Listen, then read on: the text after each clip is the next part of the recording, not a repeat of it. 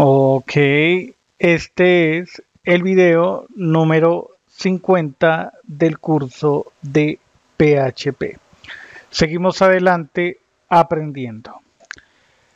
Eh, con el problema que resolvimos en el video 49, en el anterior, eh, prácticamente ya finalizamos el concepto número 17, vectores asociativos. Entonces eh, podemos retornar al listado de conceptos y centrarnos aquí donde dice 18. Funciones en PHP. Podríamos decir de antemano que las funciones son un elemento de programación que nos facilita la reutilización de código nos ayuda a crear código más compacto. Ok, entonces ahí está. Empezamos a entender este tema interesante que nos es de bastante provecho para crear aplicaciones que en donde el crecimiento se facilite la extensión, la agregación de nueva funcionalidad. Ok, entonces, a ver, dice aquí, la sintaxis para la definición de una función en PHP es la siguiente.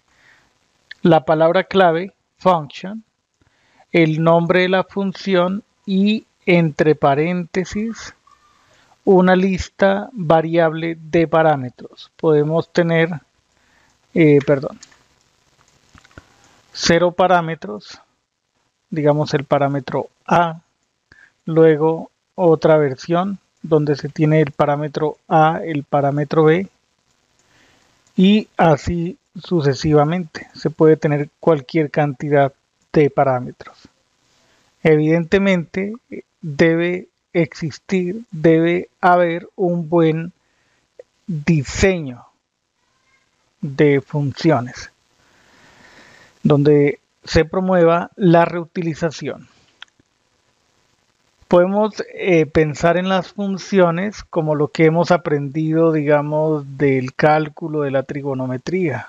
Respecto a esta última, recordemos las funciones trigonométricas como seno, coseno, tangente, eh, arco tangente, etcétera, esas funciones que requieren pensemos, imaginémonos la función seno, en donde se especifica un ángulo.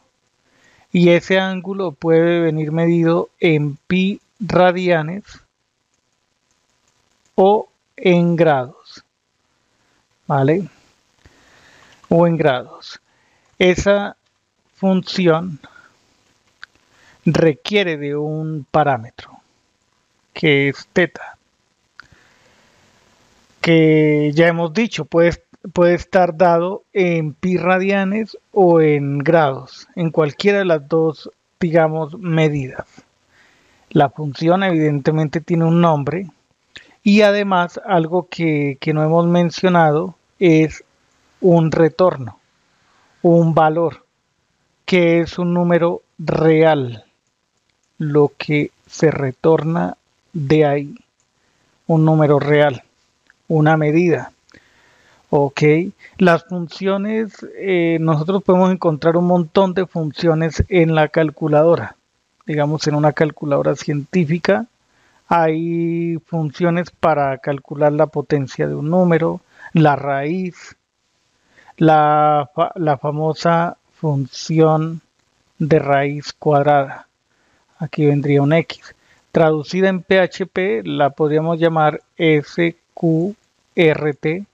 Square Root, y aquí vendría el valor sobre el que se debe calcular.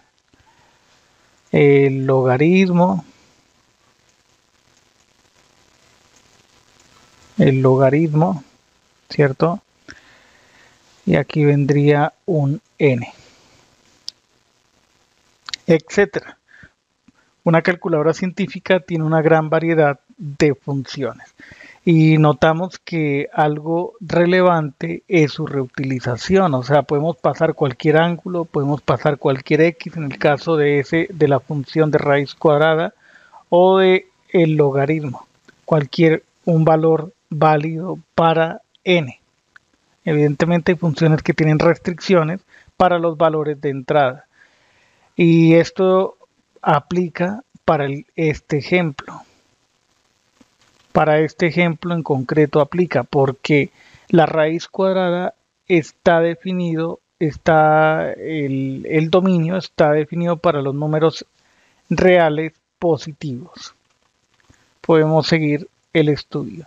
Implementaremos una función que muestre un título centrado en pantalla y la llamaremos posteriormente dos veces. Y la función ya aparece aquí escrita. Observemos. Function.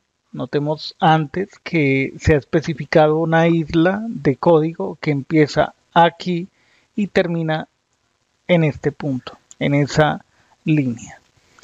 El nombre de la función ¿vale? El parámetro.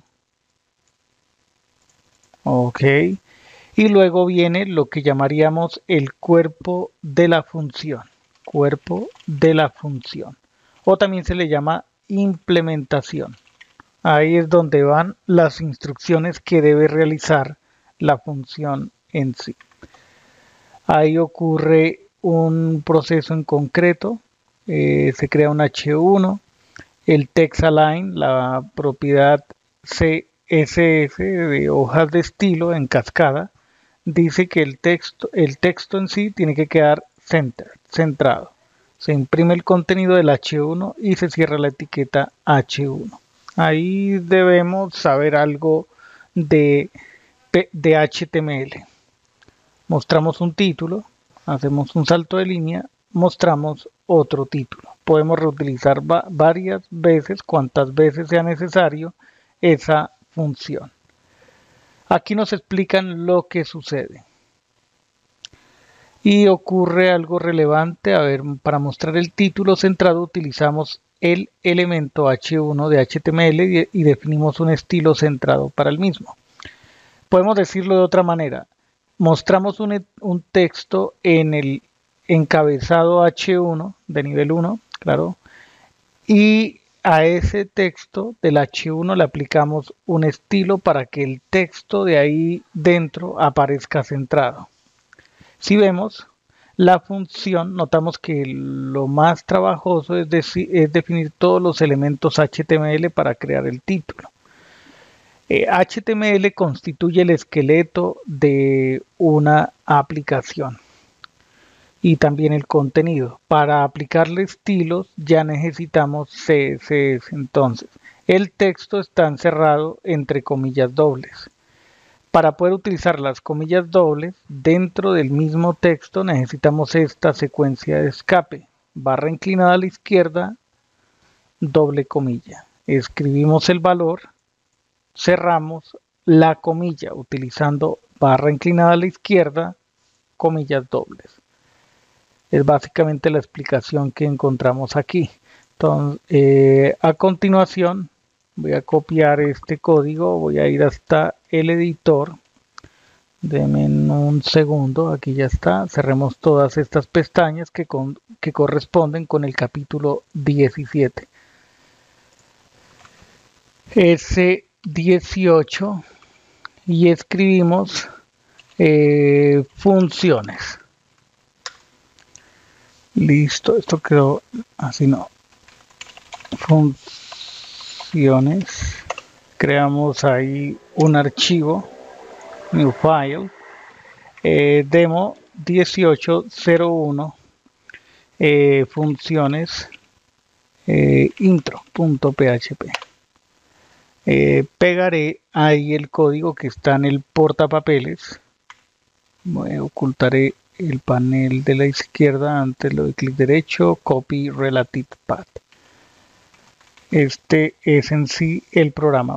Generaré un commit. Escribamos aquí introducción a las funciones en PHP. Listo. Em, ok, nos vamos hacia el navegador. Esta es la demostración del video anterior. Ahí está.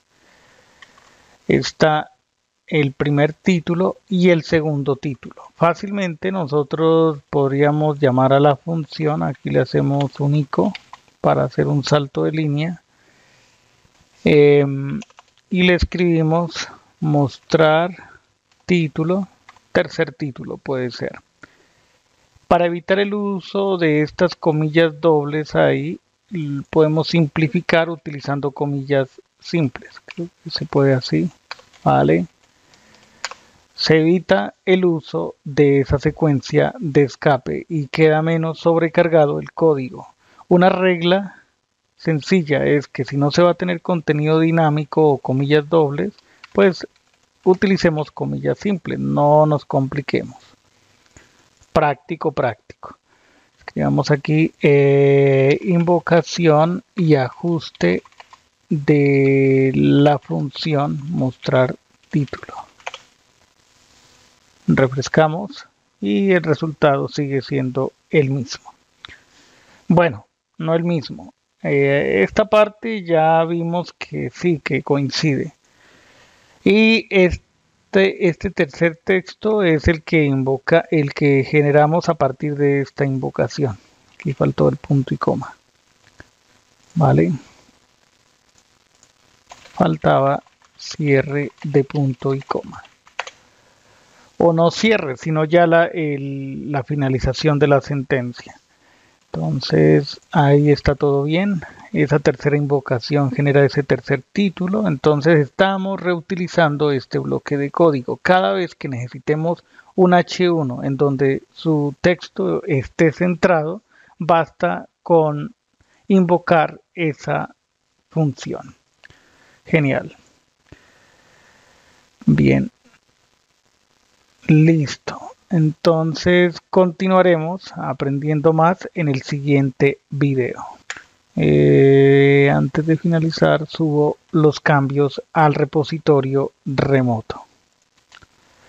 Hasta la próxima.